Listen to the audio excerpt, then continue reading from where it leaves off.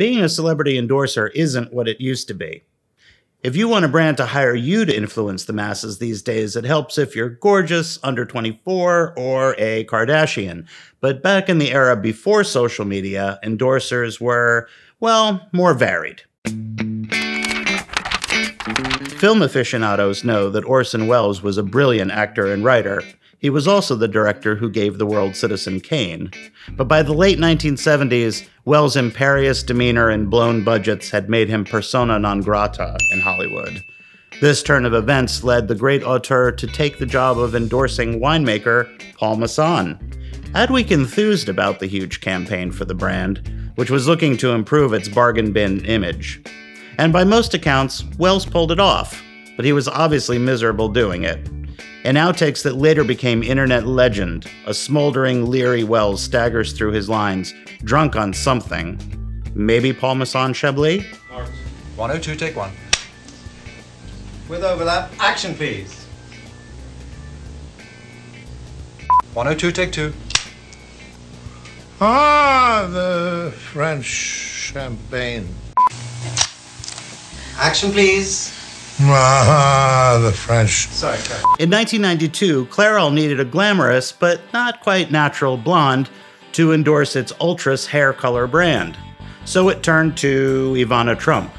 You might not remember Ivana. She was the president's first wife, a one time Czech model he cheated on with Marla Maples and then divorced. The Trump split was tabloid fodder and was barely five months old when the TV spot starring Ivana began airing. Adweek called the heavily accented Ivana part Zsa Zsa, part drill sergeant Barbie. Gorgeous hair is the best revenge. So let's say it's 1981 and you're selling a TV called the Star System. Who are you going to hire to pitch the thing? An astronaut? No, silly. You hire someone who's an astronaut on TV. That's how Mr. Spock, uh, sorry, Leonard Nimoy, who played Spock on the original Star Trek series, became a pitchman for Magnavox. Nimoy wasn't exactly eye candy, but his authoritative baritone was just the thing. Magnavox Star System Color Television. Newest achievement from the mind of Magnavox. Nimoy was Magnavox's choice because of his association with scientific technology and futurism, Adweek wrote. The single most reliable electronic system in Magnavox history. Star System, the eternal Magnavox. During the conservative 1980s, there wasn't much explicit talk about sex, unless it was a story about the AIDS crisis on the nightly news. The colorful exception was a four foot seven woman with a squeaky voice and a sociology degree named Dr. Ruth Westheimer. With her heavy German accent and fearless candor, Westheimer dispatched sex advice on her own radio and TV shows, and by 1988, she'd landed a gig as a product endorser for Candie's, a low price shoe brand. What was the connection? As Adweek reported, Westheimer's message was basically that a young lady can feel a lot better about herself by putting on the right pair of sexy shoes. Odds are that message wouldn't fly today, but it was nervy for the time, just like Dr. Ruth.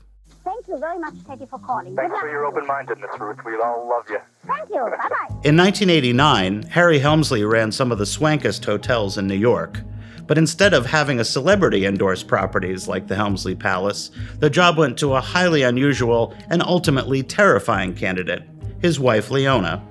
She called herself the Queen of the Palace, but her employees cooked up a more incriminating moniker, the Queen of Mean. Few customers at the time knew what a terror the implacable chain smoking Leona was to work for, but Adweek readers knew. In the summer of 1989, we excerpted the memoirs of Leona's personal advertising representative, the legendary Jane Maas, who wrote Leona gave me many things, including a crisis of confidence.